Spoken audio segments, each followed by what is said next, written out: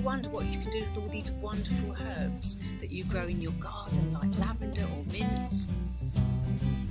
So I'm Viv, and I'm a herbal researcher and also a specialist in gut physiology. And we're going to start learning how we can build up our herbal store cupboard, how we can blend our own herbal teas.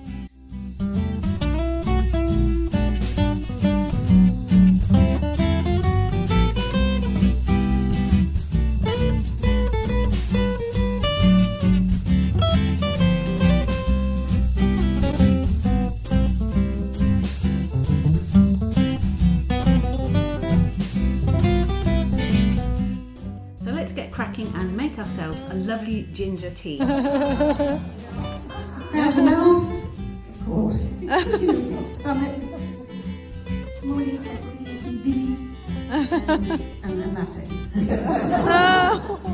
Chomping away at the um, dandelion.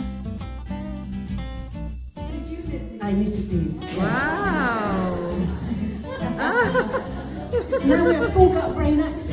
And don't we know now the relationship between the gut, the microbiota, and the brain for many, many things, controlling our metabolism, control, controlling our mood.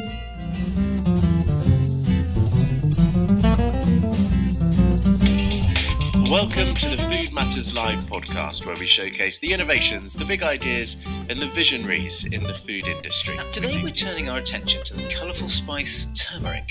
Over the last Yeah, great. Well, great topic to explore. Turmeric's one of the most magnificent spices I think there is. And It's I think it's a philosophy that we've tried to just follow through everything we do. That, you know, we've got to have this great respect for the planet when we're sort of harvesting tons of curcumin or, or ginger, for example.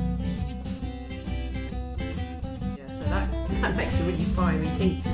So come blend with me.